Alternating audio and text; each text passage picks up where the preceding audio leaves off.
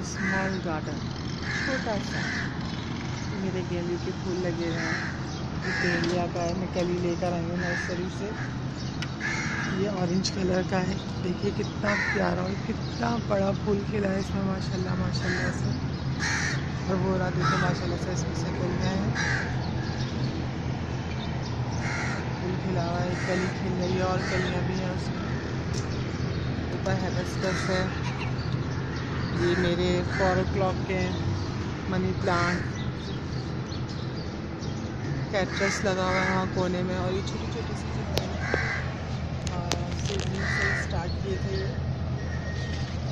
कॉलेक्स है कैरेंडोला है पोपी है वर्बीना लगाया हुआ है मैंने।